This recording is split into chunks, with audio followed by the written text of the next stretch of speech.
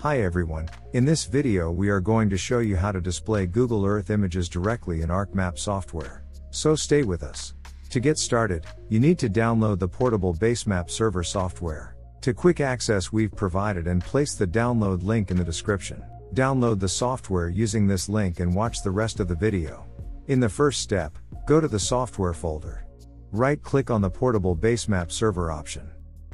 And select run an administrator.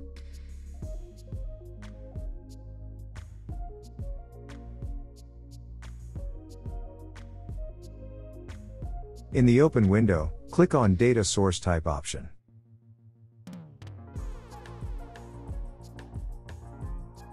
And select Google Maps imagery.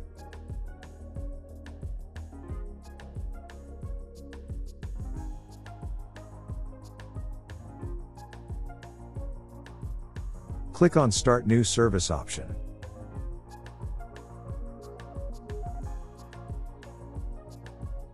And finally select Copy to Clipboard. Open the ArcMap software. Go to the Catalog section. Select the GIS Servers section. Then double click on Add WMTS Server option. Paste the text you copied in this section. Select Get Layers.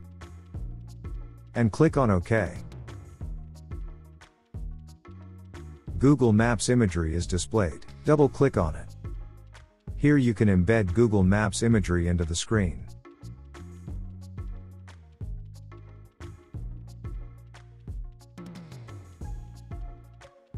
Here, as you can see, the Google Earth image has been displayed.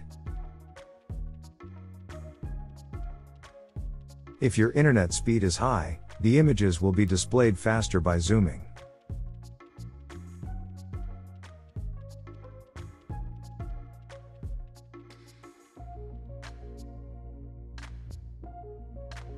The closer you are to the ground, the better the accuracy of the images.